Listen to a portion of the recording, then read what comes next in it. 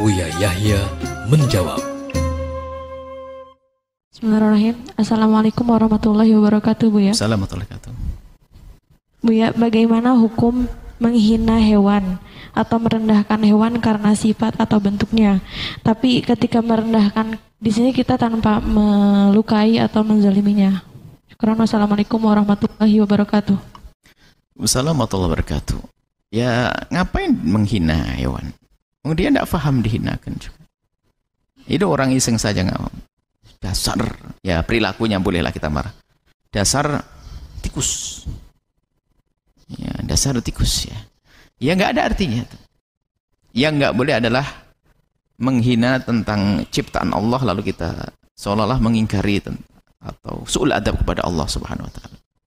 Sebab apa pun yang Allah ciptakan ada hikmah. Tapi ketidakbaikan dari perilaku makhluk Allah boleh kita membenci perilaku tersebut. Baik itu dari manusia atau dari binatang. Baik itu manusia atau binatang. Kita boleh membenci dan mengolok perilakunya, bukan binatangnya. Ada orang mungkin memarah dasar anjing. Loh, ada anjing yang baik, Ashabul Kahfi punya anjing. Ayo, mau apa? Jadi nggak bisa begitu. Jadi biasanya kalau karena perilakunya ya sah-sah saja. Semua binatang punya perilaku Masya Allah. Ada tikus tidak ada barang di rumah kecuali dirusak sama dia. Hah? Dirusak sama dia.